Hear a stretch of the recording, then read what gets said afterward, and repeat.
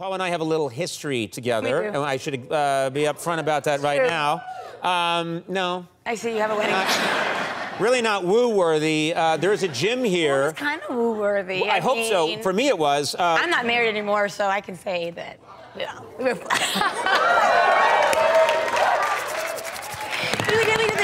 pass. You know the gym pass where you kind Yeah. of like look out the corner of your eye. oh, okay. I didn't uh, realize you were so tall. Yeah, well, let's explain what we're talking about. There's a gym here at Warner Brothers, and I don't just get this body. You got to work for it. And he works hard. And so I used to go to the gym, and I remember the first time I went, and out of the corner of my eye, I saw you corner my eye. I was? I was like this. you. And you were doing Tae Bo kicking and all that, and I'd be in the corner doing two three-pound weights. That's not. And staring at you through like I- I'd always stand behind a plant so I could peer at you. this looks bad. What I'm doing right now, look, you know, I apologize for that, but What was weird too is there's no plants in that gym. He would bring a I plant, a plant. with him. Yeah. I called it my Paula Patton plant, and I just set it down and stare at you like a creep.